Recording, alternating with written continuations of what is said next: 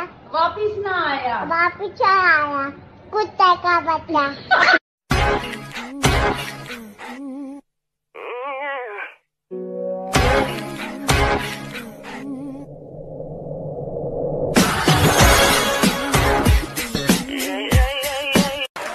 कभी अकेले में आओ गपशप मारेगा? तुम्हारे घर में माँ बहन नहीं है? नहीं पिशावर गया वो घर खा लिए चले। तुम्हें शर्म नहीं आती?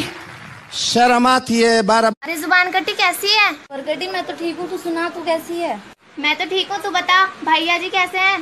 तेरे भैया तो ठीक है।